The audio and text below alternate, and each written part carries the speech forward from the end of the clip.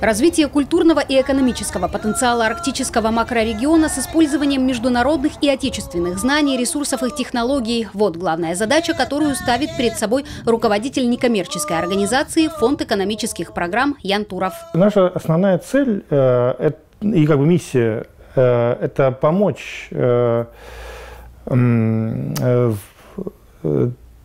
помочь коренным жителям Арктики, да, коренным э, малочисленным народам севера в первую очередь, э, а в, и также сельским жителям в создании своего собственного дела э, и поддержке традиционных видов хозяйствования с использованием э, име, э, традиционных знаний и привлечением э, международного и российского э, опыта тех, и технологий.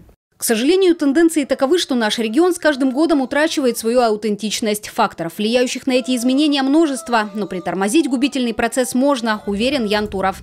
Поэтому сегодня в первую очередь крайне важно сохранить культуру и традиции Севера. Архангельской области повезло, ведь здесь находится уникальный музей деревянного зодчества «Малые Карелы», в котором трепетно берегут красоту и историю нашей земли. Сотрудники комплекса рассказывают архангелогородцам и многочисленным туристам о быте поморского человека. А дома на севере всегда были очень большие.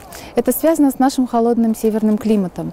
Ведь здесь, как говорят, зима у нас полгода длится, лето не торопится, осень не опаздывает. Поэтому крестьянину было удобно, чтобы все было внутри дома. Люди жили, скотинку держали, и орудия труда хранили. Чтобы все хозяйство можно было вести внутри дома, не выходя на улицу.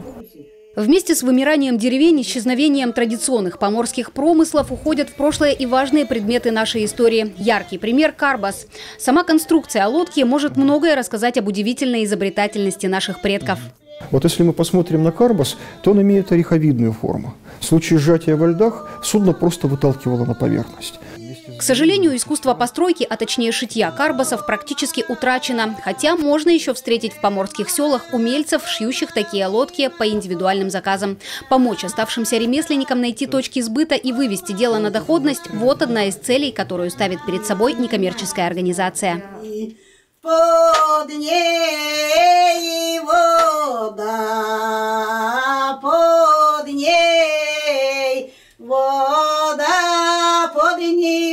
Как песня «Северный дух» связывает нас с соседними ненцами. Кочевое оленеводство здесь было испокон веков.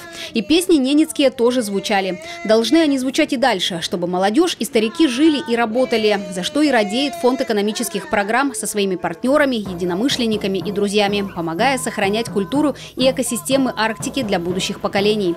Делают свое дело и международные связи. Так, однажды представители НКО привезли в Наринмар североамериканских индейцев, так сказать, для культурного ознакомления. У одного из заморских гостей сломался бубен. К счастью, в административном центре Ненецкого автономного округа живет мастер по изготовлению традиционных инструментов. Он без труда отремонтировал бубен забугорного коллеги, и тот уехал домой в полном восторге. Итог необычного знакомства таков, что об этом случае узнал североамериканский мастер из Вашингтона и заказал своему коллеге с русского севера ненецкий бубен. Так, дело мастера Валерия из Наринмара получило новый импульс к развитию. Зарядить людей оптимизмом и вывести традиционные хозяйства и ремесла на новый виток – вот к чему стремятся члены некоммерческой организации. И уж совсем амбициозная задача – сделать Архангельский север штаб-квартирой арктического партнерства.